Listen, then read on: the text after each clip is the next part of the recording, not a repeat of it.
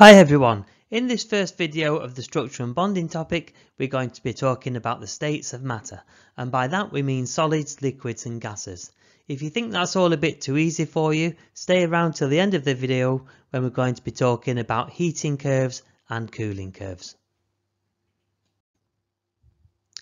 Make sure you can draw the particle diagrams for the three states of matter.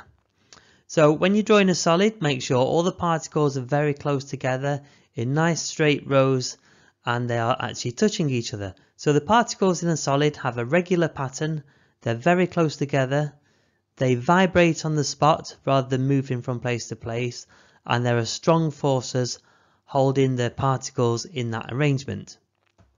The liquid diagram is the most difficult one to draw because you need to show some room between the particles, a few spaces, but as you can see from my diagram, most of the particles are still touching.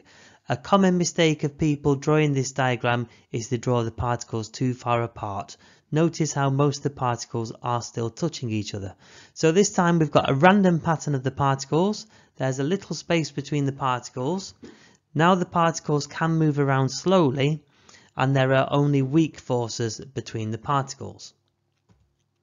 The particles in the gas, as we can see, are once again in a random pattern. There's lots of space between the particles. The particles are moving around fast and now there's no forces between the particles. In terms of the properties of a solid, what can we say about a solid? Well, they have a fixed shape, so the shape doesn't change. They also have a fixed volume.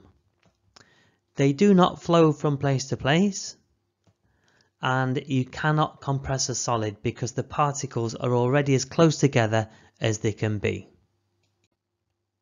The properties of a liquid, well they have a fixed volume, so if I had a 330 milliliter can of Coke and then poured it into a measuring cylinder, it would still be 330 milliliters of Coke. That won't have changed. But by doing that, the shape will have changed. It's gone from a can shape to a long, thin shape of a measuring cylinder. So they take on the shape of their container. They do flow. If you knock a liquid over, it will flow across your table and they can be compressed a little. Try this with a full water bottle, plastic water bottle. You can squeeze it a little bit because there's that small amount of space between some of the particles. When we look at the properties of a gas, the volume can change. It fills all space available. So if you have some air freshener contained within a small can and then spray it, it will then spread out to fill the size of the room. In doing that, the shape of it can change. It can flow from one place to another and a gas can be compressed a lot because the particles have got a lot of space between them so they can be forced a lot closer together. You must make sure you know the names for the different changes of state. So a solid going to a liquid is called melting, so that could be a solid bar of chocolate melting in the sun.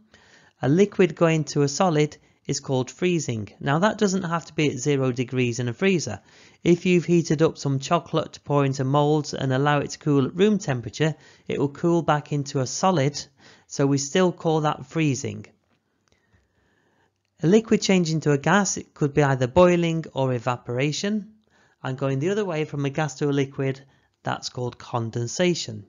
Now a few substances can change straight from a solid to a gas. One example is carbon dioxide and that's used in smoke machines in the theatre. It goes straight from a solid to the gas which is the smoke you can see and that is called sublimation.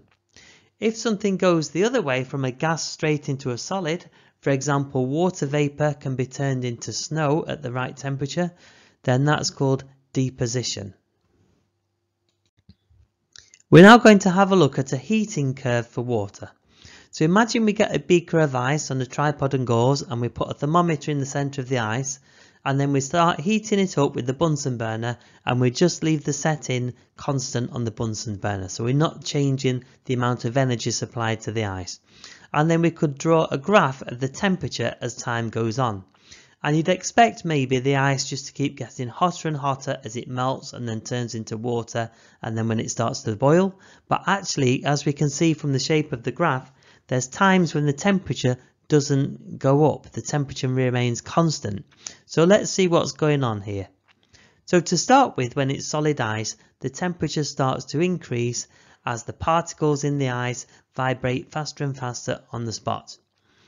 The first flat point of the graph, the first plateau, is when melting is occurring and all the heat energy supplied by the Bunsen burner is being used to overcome those strong forces so that the particles can then start to move around. Once it's turned into a liquid, the temperature of the liquid starts to rise again as the liquid particles start moving around faster and faster. And then when the next change of state happens and it starts to boil, once again the temperature remains constant as it is boiling. Once it's turned into a gas, the temperature of that gas then starts to increase. Now if this was a heating curve for water, we could actually put the some temperatures on here. So we know that ice melts at zero degrees and similarly water boils at 100 degrees. So it changes from a liquid to a gas at 100 degrees. Make sure you can label the different parts of a heating curve like this with the changes of state, melting and boiling and also where the three states of matter are. If we do the opposite experiment and start off with the gas and gradually cool it down, to start with the gas starts to decrease in temperature. Then the first plateau of the graph is where a change of state is happening and we're going from a gas to a liquid, so that must be condensation. Then the liquid cools down as the particles lose kinetic energy and start to move around slower.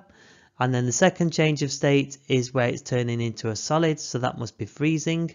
And then once it's turned into a solid, the solid then decreases in temperature. So once again, um, we can put some actual numbers on this. So the temperature that a gas changes back into a liquid is the same temperature that it changes from a liquid to a gas. So it's at the boiling point. So that would be 100 degrees for water. Similarly, the temperature it changes from a liquid to a solid is the same temperature it goes from a solid to a liquid. So that would be 0 degrees again. So once again, make sure you can label the different parts of this cooling curve. If you found this video useful, please remember to like and subscribe also feel free to leave some positive comments in the comments box. Thank you for watching.